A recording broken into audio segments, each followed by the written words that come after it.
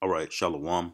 First and foremost, giving all praise to Yahweh, Bahashem, Yahweh Shai, Bahashem, Rahwadash for the Spirit to do this lesson. Double honors to the elders and apostles that great millstone. Peace and blessings to the hopeful elect. Shalom to the men of the Lord. Prophesying, preaching, and teaching on the highways and byways in sincerity and in truth. Shalom, Barakatham. Uh, all you Akim, uh, we're almost out of here, man. You know, uh, brothers was talking about it this week. Um, the signs, you know, we had a we had a, a celestial event, I'll call it, back in December with the with with Jupiter and Saturn basically coming close together, and you had the eclipse.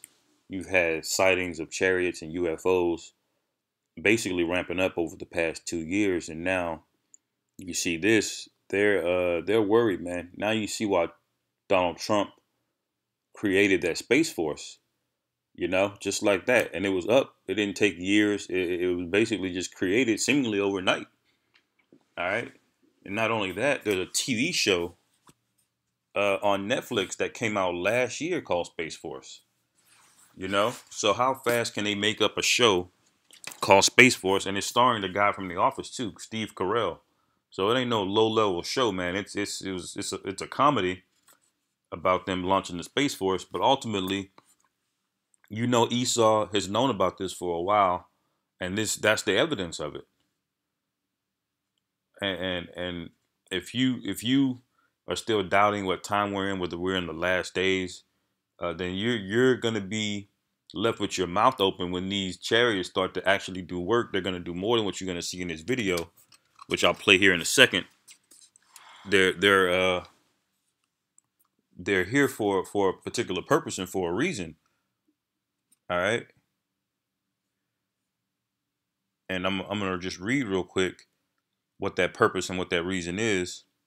And Zechariah 5, uh, it talks about the flying scroll.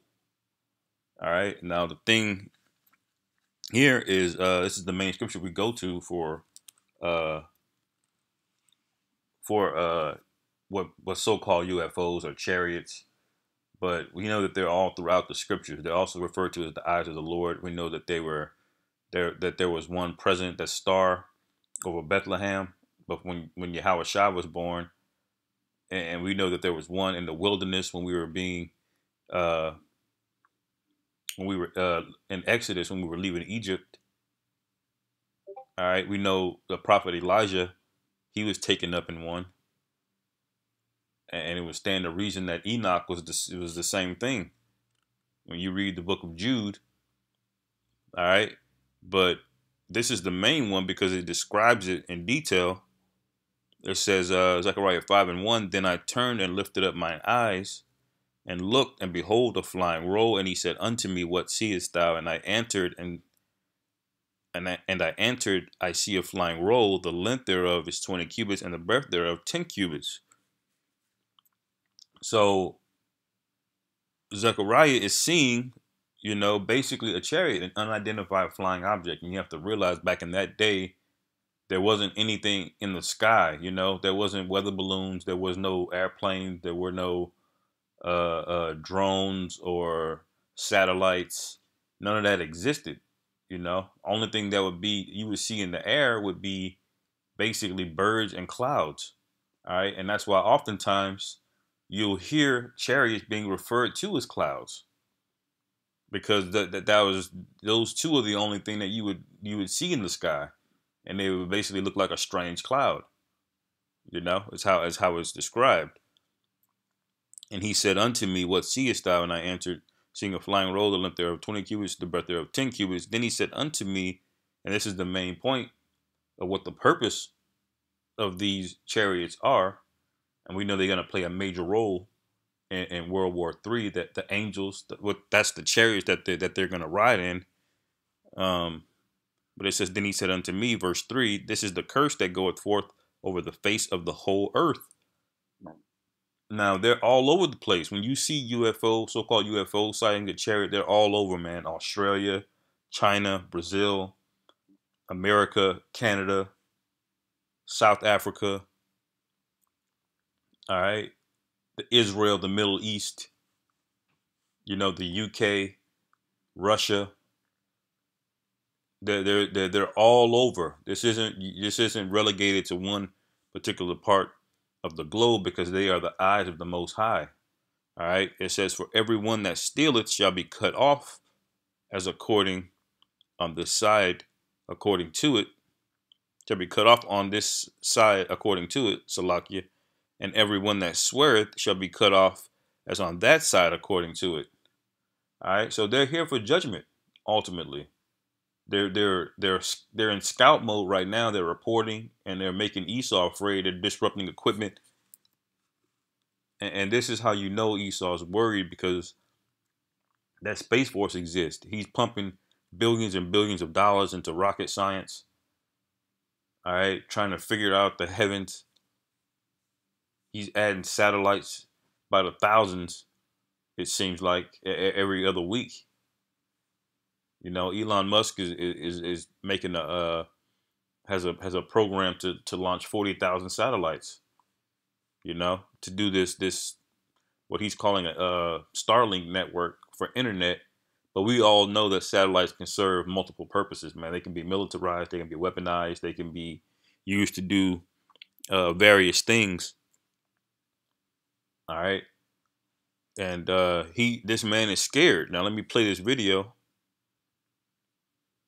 Actually, let me read uh, verse 4 real quick, Zechariah 5 and 4, because that's important too. I will bring it forth, saith the Lord Jehovah of hosts, and it shall enter into the house of the thief. And that's why they're over these military bases. And that this video, that that that's man, that's humbling, man. That was a swarm of these things, and they and they were in shapes that you couldn't mistake them for anything else, but but a but a flying craft, you know. It couldn't be anything else. They were swarming and they were doing things according to their own testimony, that they couldn't explain. The speeds appearing, disappearing, the angles that they can take, you know, it, they, they're worried. And that the house of the thief is Esau, Edom. All right. NATO, the EU, the whole beast system, these chariots are, are, are, are there to, to mark you and make a sign and to be a sign for what's to come. It says, and into the house of him that sweareth falsely by my name, and it shall remain in the midst of the house, and it shall consume it with the timber thereof and the stones thereof.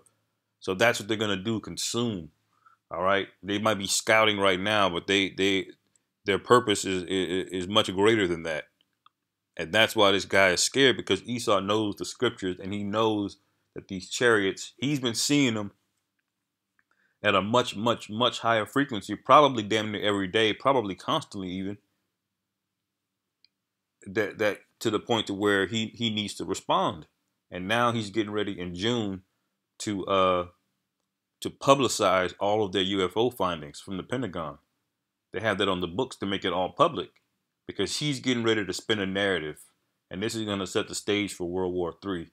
We we all need to get together and worry about these things and fight these things, they're the enemy now. You know, even Ronald Reagan had uh, said it. But let me play this uh, video. Oh, Salakia.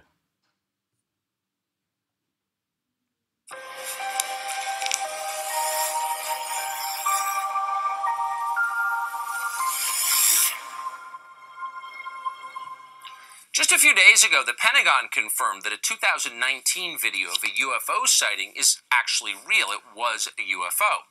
The video shows a pyramid shaped object flying Look over a U.S. Navy destroyer. This is the very first time the public has seen video from this incident. The UFO footage was leaked to a filmmaker called Jeremy Corbell, who joins us tonight to explain all of this. Jeremy, thanks so much for coming on. Tell us where this was shot um, what are we looking at here? Yeah, so I obtained and released uh, videos and photographic evidence of UFOs swarming our warships. So the green video is night vision. That's from the USS Russell. It wasn't just one pyramid shaped craft, it was multiple. These were swarms. I also released with my mentor in journalism, George Knapp, also released from the USS Omaha, which looks like thermal imagery. Uh, he released three photos the day prior to mine. So we're, we're trying to get this out to continue uh, elevating the conversation because it's very important we have it right now. you think? I mean, those are not weather balloons. those are clearly No. autonomous aircraft of some kind that are, as you put it, swarming U.S. military craft. So These are there are two craft under options. I- intelligent control. These are nicely craft put. under intelligent that, control, and they're flying with impunity, Tucker, within our That's right. airspace, and uh, they can outmaneuver, outperform um, anything that we seem to have. Their mode of transportation uh, is uh, seems magical to us. It's unbelievable, and now finally we're having a rational, sober discussion about this because we don't know what these are. We don't know the nature of the technology. We need to find out who's op- Well, they're, you know, they're the angels, man. All right. The scriptures say that the, the, the eyes of the Lord are upon the sinful kingdom. And and we're we're it, it, it- it's time now for you Jakes to wake up, man. But but see the, the some of you were- were just blinded, man. You you weren't meant to to get it. A chariot could beam a brother up right next to you and, and, and you'll still go back into your folly. You know? Operating them and also what the intent is. So it's a really exciting time to be learning about UFOs because uh, now we're having a complete tipping point with the transparency, and hopefully we'll be getting more answers soon. this must have scared the crap out of the U.S. military. I mean, their job is to defend the country and themselves, and here these aircraft violate their airspace. Quickly, do, do you believe that they sincerely don't know what these things Oh, are they, they don't. they we from? have the best. We have the best military on planet Earth. The greatest intelligence agencies. These are true unknowns, and they were swarming our, um, you know, military arsenals. This they're seen over nuclear facilities. This is documented. We need to find out who is Yeah. operating these. You heard that? You see how worried they are? They're over nuclear facilities. So so the most high how about Yahweh Bashim Hawashai is in control, man. And he always has been. And these devils are worried. All right. Whew. these vehicles. Yeah, nicely put.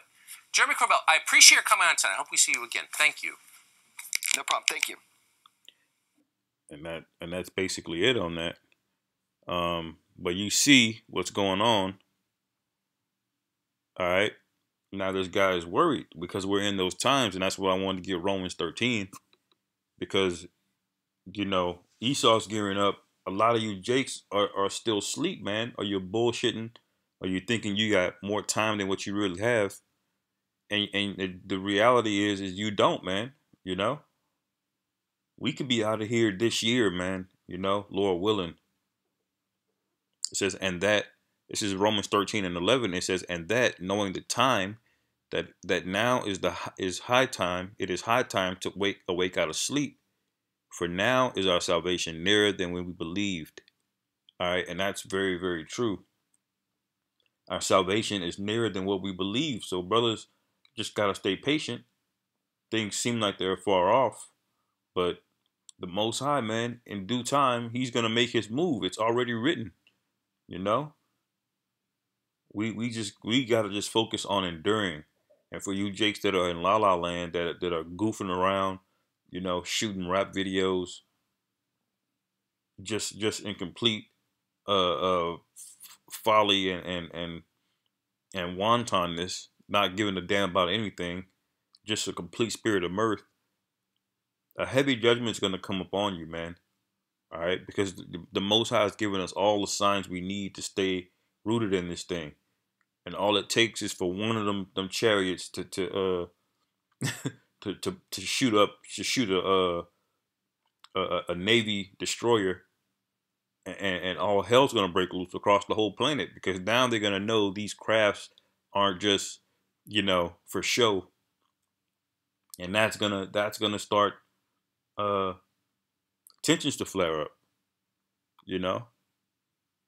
But this is verse 12 it says the night is far spent. The day is at hand. Let us therefore cast off the works of darkness and let us put on the armor of light so in other words stop bullshitting man stop engaging in this world that doesn't care about you this world only takes man there, there's no there's no fruitful way of living here everything in here i- i- is defiled and for you to to to be in a spirit of actively supporting it, man. The Most High is angry at you, all right? And you don't understand how fearful it is to, to, to have the Most High wrath be directed at you.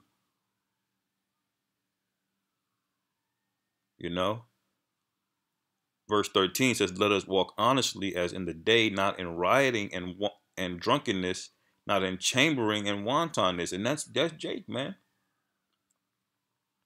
Walking around throwing parties, bullshitting.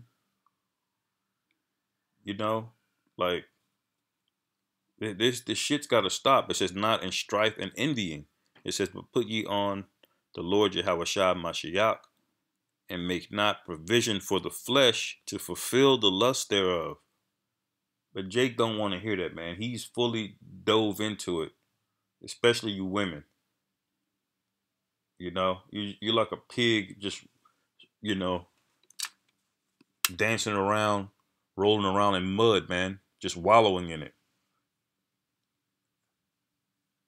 And if you don't wake up and repent, the Most High is going to destroy you. There's no other way to put it. You know? Jeremiah 4 backs this up. It says, uh, this is Jeremiah 4 and 13. It says, Behold, he shall come up as clouds, and his chariots shall be as a whirlwind. All right. His horses are swifter than eagles. And that describes the chariots, man. Swifter than eagles. You know? Got the appearance of a whirlwind. They can take all different kind of shapes, really.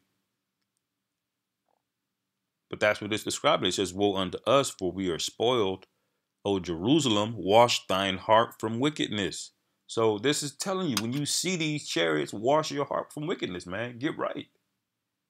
Because the, we are we're in these days where where, where you you know the famine of the word is gonna is gonna come out and see the chariots are gonna be a blessing to us in those days. They're gonna be a curse unto you people, as we read in Zechariah 5. This is the curse that go forth across the whole earth they're going to be a, a, blessing and, and and and a mechanism for deliverance for us. We're good brothers going to be in particular tight situations, and, and a chariot could show up and, and, and zap somebody, man, or, or or drop off some food, you know, or, or whatever we whatever we may need, man, for brothers who are rooted and have and have faith. But you you don't want to wash your heart from wickedness, and that's that and that's what's going to be your downfall.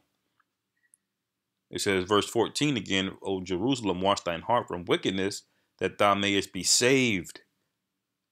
All right. So when that this chariots show up, man, this is the time where the Most High is going to save who He's going to save. Okay. It says, How long shall thy vain thoughts lodge within thee? And, and I can't, you can't get any more plain than that. All right, because all your thoughts are vain. If you're thinking about OnlyFans and and and, and partying or, or trying to save up, for, you know, in a 401k or, or, or these long-term investments and all of that bullshit, those are those are vain thoughts, and ultimately, it's you putting your faith in Egypt into, into the place that the Most High ha, has has promised to destroy and is dead set against. You know, um, so that's basically it on that.